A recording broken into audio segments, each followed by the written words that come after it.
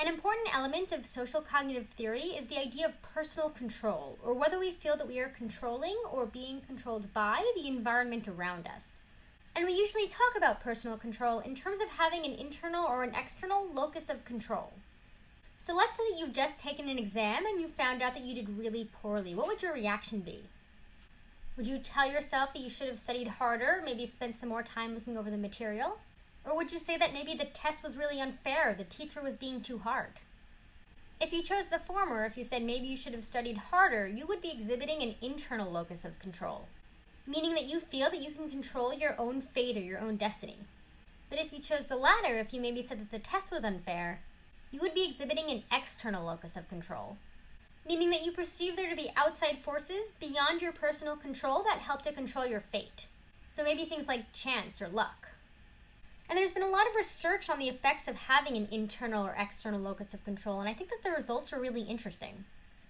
Because it turns out that individuals with an internal locus of control achieve more in school and in work.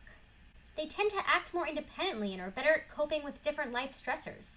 They even have better health and low rates of depression. Individuals with an external locus of control tend not to do as well in school, and they also tend to have higher rates of depression.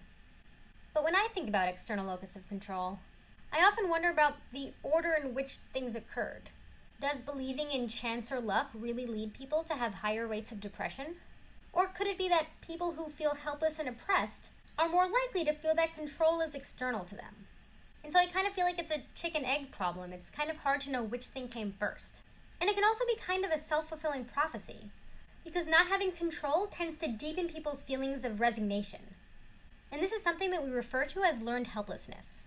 And there's a pretty famous experiment that's associated with this. So imagine that we have two groups of dogs, and in the first group, the dogs were conditioned to know that when a tone sounded, they were going to receive an electric shock.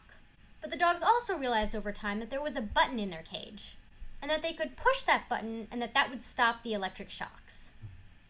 The dogs in group 2 were conditioned the same way, so they learned that when a tone sounded, they were going to be shocked, but unlike Group 1, they didn't have any way of controlling those shocks.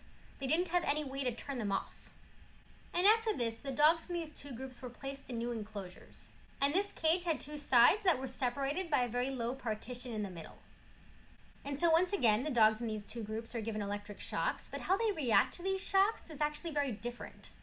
The dogs in group one, who had learned that they could escape the electric shocks through an action of their own, in this case, pushing a button, learned to escape the new electric shocks by jumping over the small barrier. The dogs in group 2 had a really different reaction. They didn't try to escape the shocks. They didn't try to jump over the barrier. Instead, they just sat there and whimpered. So even though they could have escaped the shocks, they didn't try to. They didn't make the effort. And this led the researchers to conclude that uncontrollable bad events can often lead to a lack of control or a perceived lack of control and that this could then lead to generalized helpless behavior. And while we always have to be really cautious when taking animal models and comparing them to humans, I feel that there's a lot to learn from this study about what happens to people when they're not able to take control of things in their environment. So think about people who have very little control over their lives those in poverty, or people who are homeless or in prison, or even those with disabilities and elderly people in nursing homes. All of these people have lost some or all of their ability to control many of the situations around them. And this can actually result in them experiencing a lot of negative health symptoms like increased rates of depression and increased stress. In fact, research that's been done in nursing homes has shown that increasing people's control over basically anything can have positive outcomes in terms of their well being. Things like the ability to move chairs around and control the lights or having the TV remote. Even these very little things can increase the health and well being of people in these situations. They're more alert, they're happier, they're more active. So, this research shows that having even a little bit of control over our lives is preferable to no control. But is it possible for people to have too much control?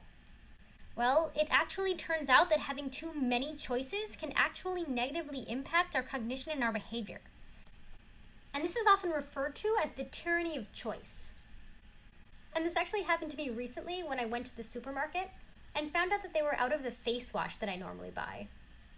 And because of this, I actually had to spend time walking up and down the aisle looking at all of the different choices, and it was actually kind of terrible. there were just too many options. There were too many different brands. There were too many different ingredients. And this is kind of embarrassing, but I actually wound up leaving. I actually wound up going to CVS because I couldn't make a decision. But I actually don't feel too bad because it turns out that my behavior is actually justified, at least according to some consumer research. There was a study that was done where people were split into two groups, and one group had to choose one kind of chocolate out of 30 brands, and the other group had to choose one kind of chocolate out of six brands. And what they found was that those who had to choose one out of six were way more satisfied with their final decision. But those who had to pick one out of 30 different options were way less satisfied. They weren't as confident with their final choice. Well, what is actually happening when people are faced with too many choices? Well, one thing is information overload.